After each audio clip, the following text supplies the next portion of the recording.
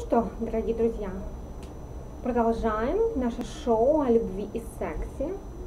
Хотя Салман немножко шутит, немножко шутит. В общем, продолжаю читать книгу из моей библиотеки «Позитивное мышление и смежные науки».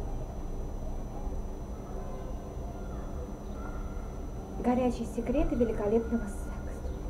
Так что, ну что тут о поцелуях? Это мы читать не будем.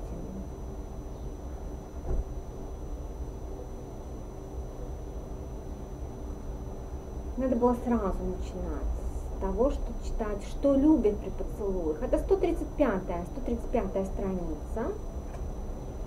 М-м. Ох,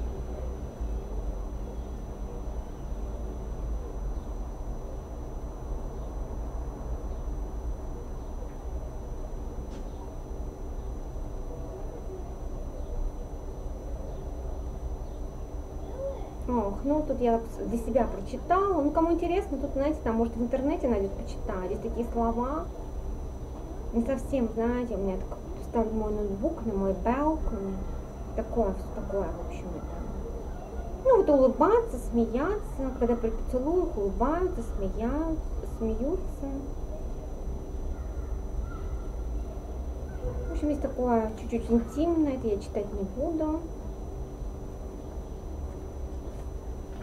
Что тут у нас дальше интересное?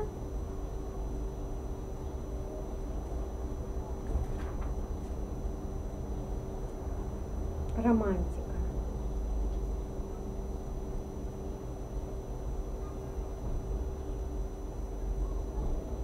О, смотрите. Вот тут советуют, как улучшить либидо. Либидо, решить проблемы с либидо. Давайте почитаем. Романтика. Смотрите, романтика а, сексуальное желание часто идет руку об руку с романтическими чувствами как у женщин, так и у мужчин. Если вы хотите решить проблемы с либидо, добавьте в отношения немного романтики. Неплохо вспоминать свидания, эти самые незабываемые э, ощущения, с которыми вы назначили свидания и ходили на них.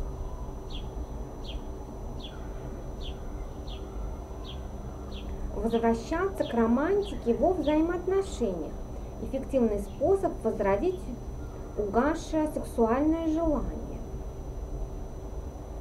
Если ваше желание слабое, не бросайтесь сразу в постель. Попробуйте вначале устроить ужин, ужин при свечах да, ужин свечах.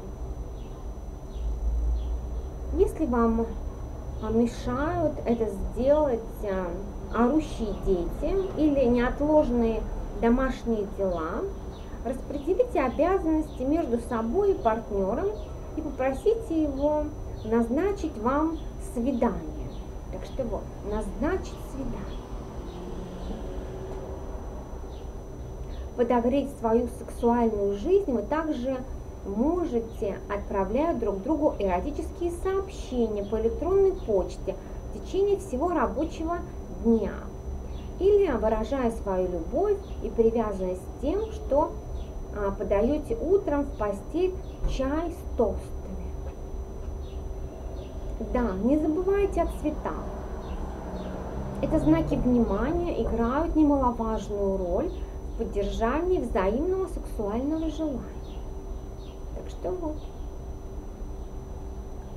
Назначая свидание, вы снова можете влюбиться. О, назначая свидание, вы снова можете влюбиться. Вспомните дни юности и свою первую любовь. И этими романтическими воспоминаниями к вам возвратится юношеская страсть. Смотрите, с этими романтическими воспоминаниями к вам возвратится юношеская страсть, с которой вы когда-то ходили на первое свидание. Один из самых распространенных утверждений, которые слышат психологи на консультациях, является следующее. Я хочу, чтобы было так, как в самом начале. Вы можете сами повернуть время вспять соблазните ее, его снова. Так что вот, страница 151.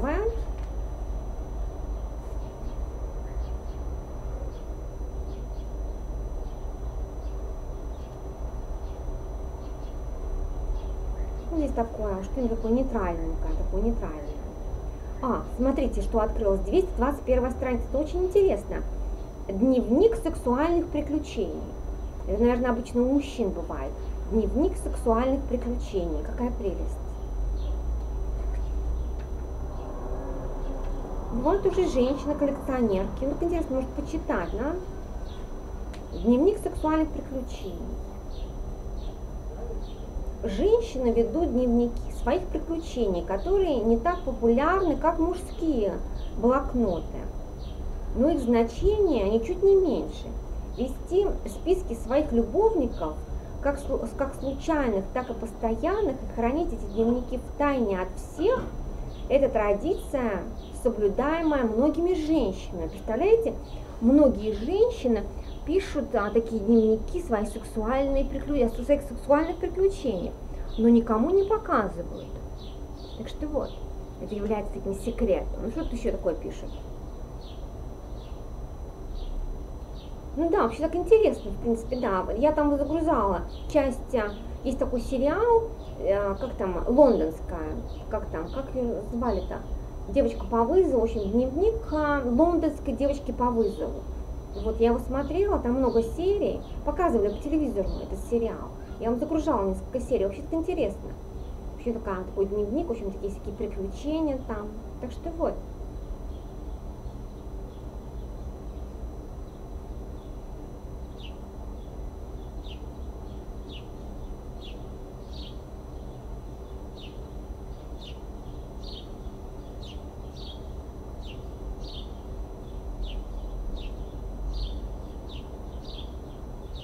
А, вы знаете что, это я не могу, да, знаете, такое написано, как бы это я читаю, я немножко пропущу. Знаете что?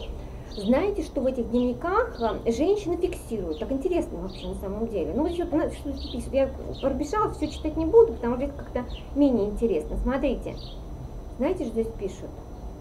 Некоторые женщины даже систематизируют информацию о своих случайных связях, а в сложных таблицах с указанием рейтинга любовников и размеров члена. Так что вот, представляете?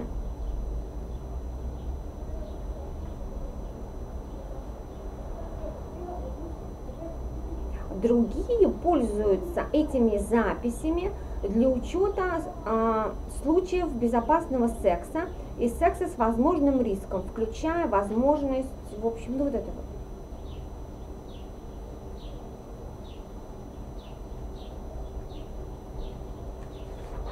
Что ж там мужчины? Интересно, что мужчины пишут?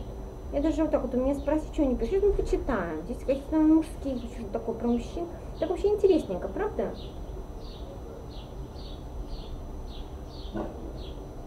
Так, охотница на мужчин. Смотрите, бывают охотницы на мужчин. Смотрите, охотница на мужчин. Когда женщина хочет секса без всяких условий. И когда для этого ей подходит не только, мужч... не только мужчина, например, ну это я не буду читать, ладно, вот это вот.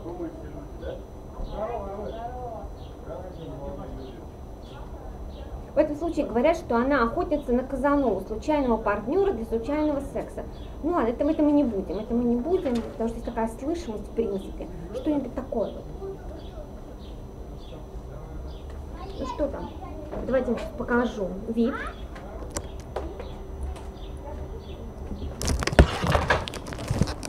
Вот машина приехала на разгрузочку. Восток, восток-запад. Восток-запад. Мужчины там разгружаются.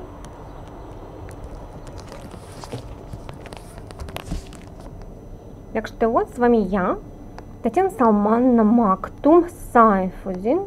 Моя авторская программа творческой студии позитивного мышления и силы позитивной мысли.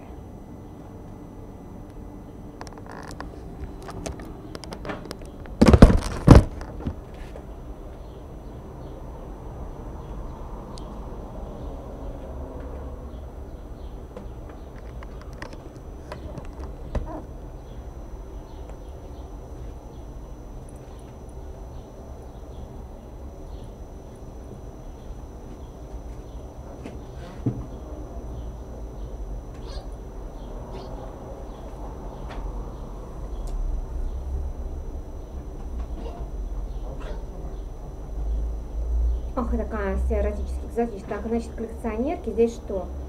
Где тут про мужчин-то? Что мужчины там фиксируют? Ну никак, мне даже интересно. Что они там фиксируют? Приглашение к сексу. Сексуальная статистика. Мимолетные встречи. Мимолетные встречи, когда разнообразие а, перчинки вашей сексуальной жизни. Так что вот.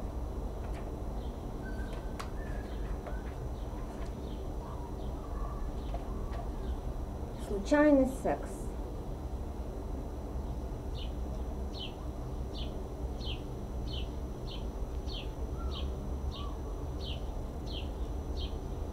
Так, что здесь про мужчин-то пишет? Сейчас смотрите, искатели сексуальных э, приключений. Традиционно искателями мимолетных сексуальных приключений считаются мужчины. Вот. Целью поиска является удовлетворение сексуальной страсти, после чего мужчины быстро покидают поле боя. Такой искатель мимолетных приключений каждый день зависает в злачных местах, особенно там, где можно выпить. Регулярные выпивки – основная прелюдия такого мужчины. Кроме всего прочего, искателю одноразовых приключений алкоголь добавляет храбрости. Так, что тут еще?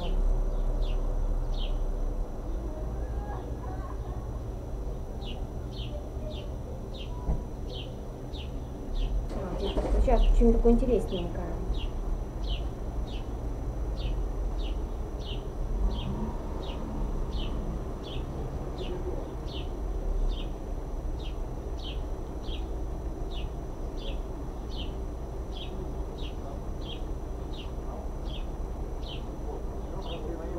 Так что же они там Здесь должно быть написано.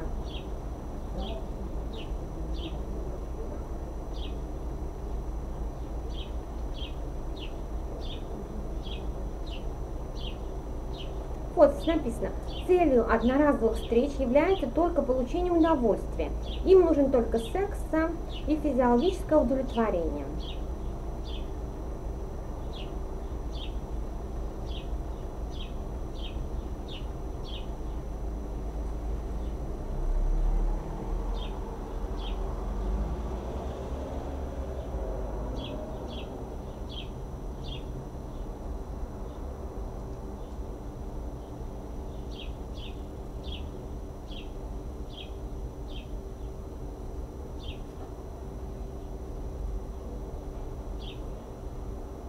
А, смотрите, вот, лицевой счет называется.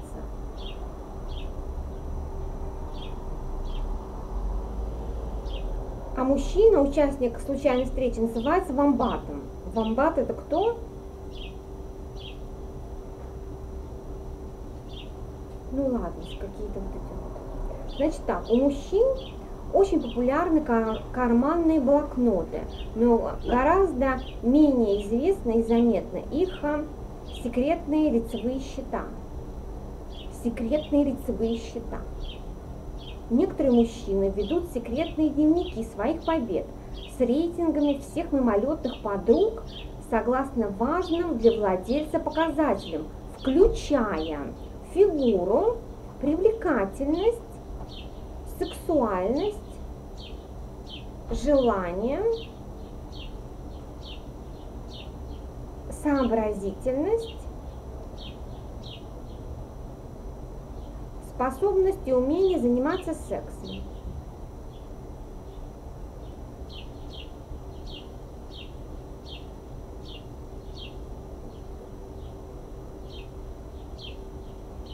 А знаете, что в таком дневнике написал Глеб, с которым я переспала вот в этой самой комнате? Знаете, сколько лет назад? Мне было, наверное, знаете, вот сейчас Татьяна Самановна посчитает. Сейчас Татьяна Самановна вам скажет. Мне было 20 с небольшим. Ну так, будем. Малеха так это. В общем, получается 30, 40, вот 48. Ну, считайте, 27 лет назад. Знаете, что он написал? Вот по этим показателям. Так что вот. Вам сказать на скидку или посмотреть?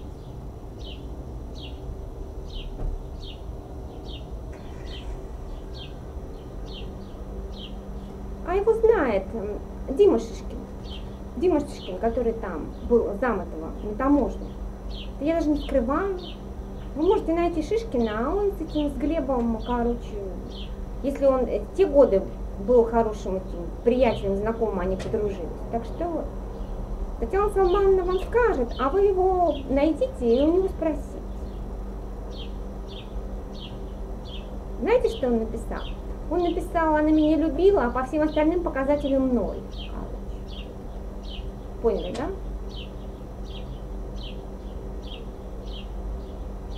Так что вот вам.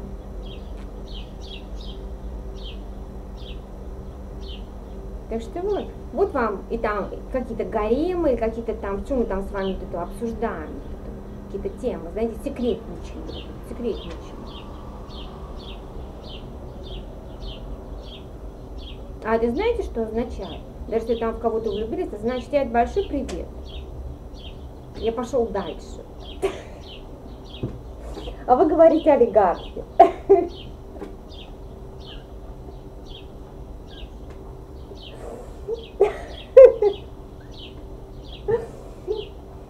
Ну да.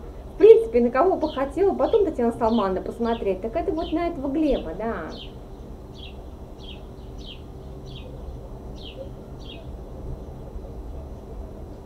Нас, смотрите. А, ну по поводу фигуры, он может быть так еще, знаете, по поводу фигуры. Ну, excuse me, excuse me. Сейчас я еще раз прочитаю. Что показатели, понимаете, включая фигуру. Привлекательность, сексуальность, желание, со сообразительность, способность и умение заниматься... Ну, по поводу привлекательности, я, конечно, не знаю.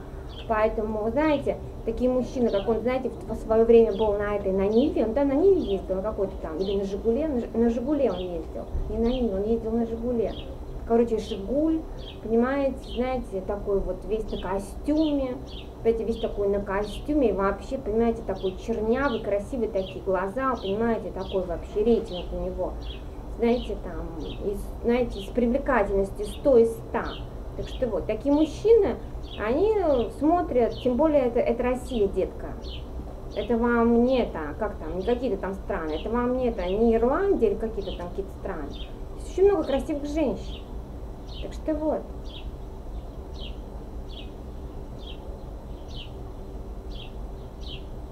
Поэтому мне Юрий Кириллович сразу сказал, умудренный опыт. У него был умудренный опыт. Он сразу сказал, Татьяна, он вам вообще не нужен. Вообще не нужен.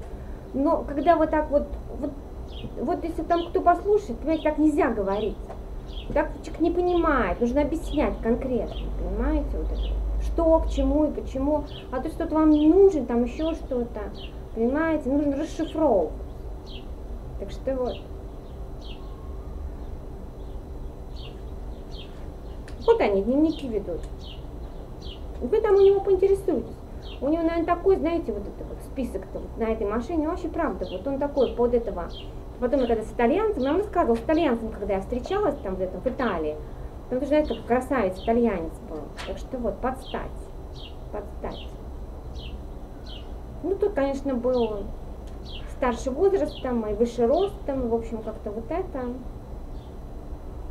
Ну, ладно.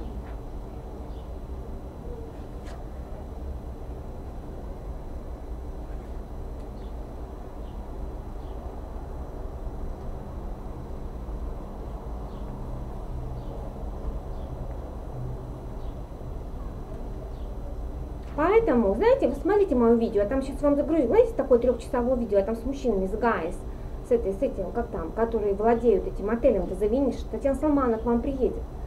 Татьяна Салмановна как вспомнит, она как спустит на вас там вот это вот, как говорится, если она вспомнит, знаете, вот, вот это вот, как говорится, свое вот это прошлое,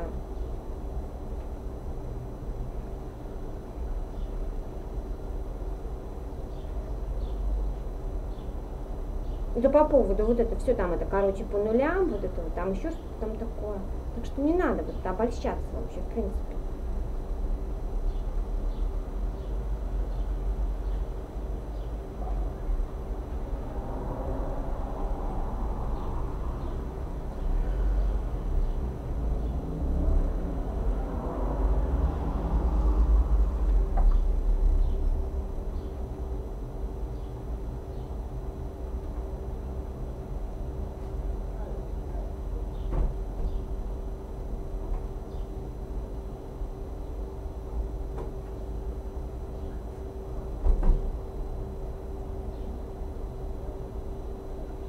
Вот, хирургическое увеличение члена.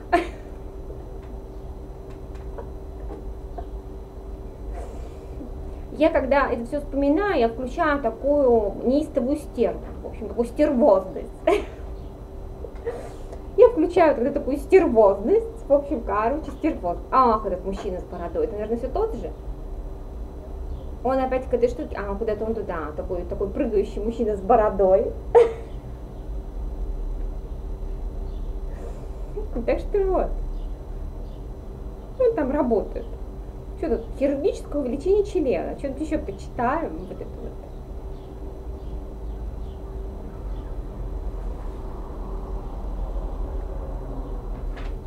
А если у вас по всем этим вот этим ноль, короче, даже в 20 с лишним, вы пролетаете. Не только мимо олигархов, вы пролетаете мимо этих гаремов и каких-то там вот этих. Вы пролетаете вообще вот это. А с такой внешностью, вы посмотрите вот это вот, мое предыдущее это видео, которое я засняла, а с такой примерно внешностью это вообще, вообще вот это пролетает. Ну, в принципе, как там, если я мечтаю быть актрисой, певицей, ну, а певицы, понимаете, это вопрос, это нужно такой голос иметь, знаете, вот это, если ты уж такой голос имеешь, самородок, это да, это можно, понимаете, ну, актрисы, они, в принципе, бывают, есть роли разные, но хочется же вот это вот принцесс играть, так что вот. Так остается что? Вот изучать, знаете, вот это вот, заниматься собой, чем я, чем я и занимаюсь. Так что вот моя творческая студия позитивного мышления, силы позитивной мысли, Татьяна Салмановна Мактум, сайт, вот изучаю